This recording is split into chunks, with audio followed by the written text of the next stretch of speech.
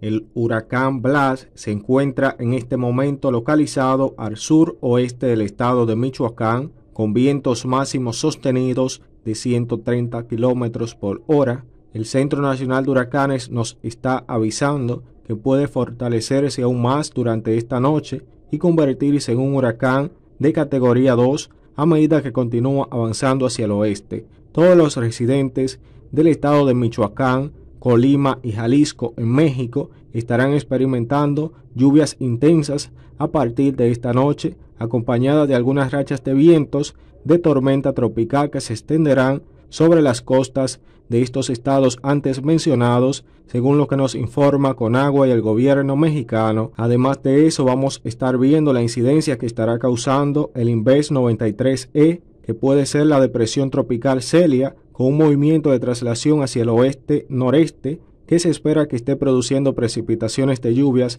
bastante intensas durante los próximos días sobre Guatemala, El Salvador y algunas zonas de Nicaragua a medida que se mantiene estacionario en esta región durante varios días y cambia su movimiento de traslación hacia el oeste en donde los residentes del estado de Chiapas y Oaxaca deben de permanecer bajo las informaciones oficiales del Centro Nacional de Huracanes ante la posible trayectoria de esta depresión tropical Celia que puede llegar como una tormenta a la región sur de México, según lo que vemos en los diferentes modelos meteorológicos. Aquí estamos viendo lo que nos muestra el modelo americano en su última corrida más reciente de todas las precipitaciones que estará dejando este huracán Blas sobre las costas de Michoacán, Colima y Jalisco y vemos que aunque se desplace por las aguas del Pacífico, esas bandas de nubes se van a estar extendiendo hacia estos estados de la costa occidental mexicana, en donde se espera que puedan producirse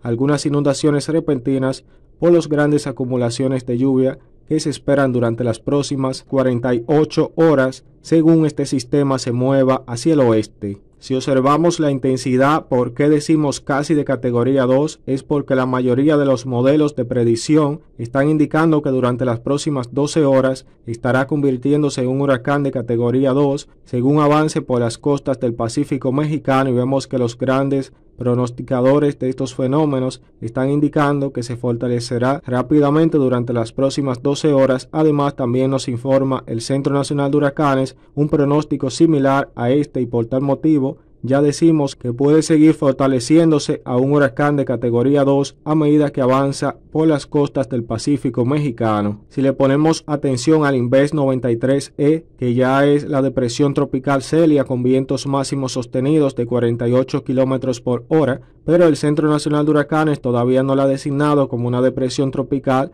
debido a que está esperando esa circulación cerrada y vemos que va a estar ocasionando precipitaciones de lluvias muy intensas a medida que se mantenga un poco estacionaria sobre la región de Centroamérica, prácticamente sobre gran parte de Salvador, Guatemala, de Honduras y Nicaragua a medida que se mueva hacia el norte-noreste.